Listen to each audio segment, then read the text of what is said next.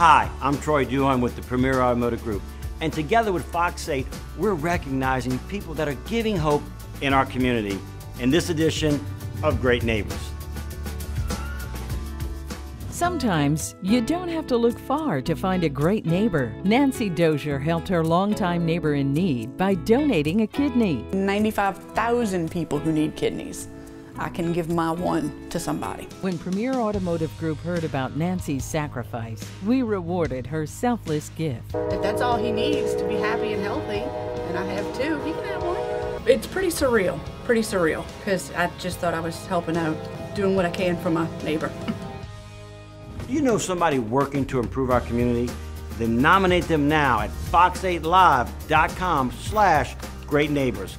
Let us show you great neighbors giving hope in our community. Sponsored by Premier Automotive Group and Fox 8.